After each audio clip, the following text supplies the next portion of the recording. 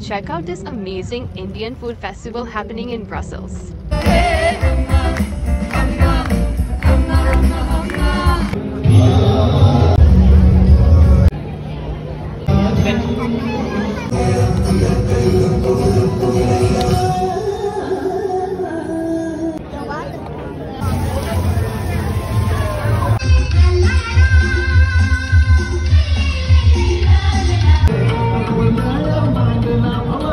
Thank you.